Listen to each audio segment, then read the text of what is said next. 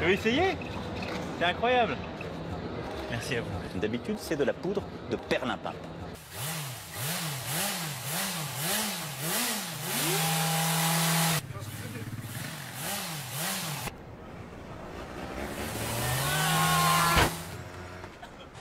Heureux d'être avec vous. Merci à vous.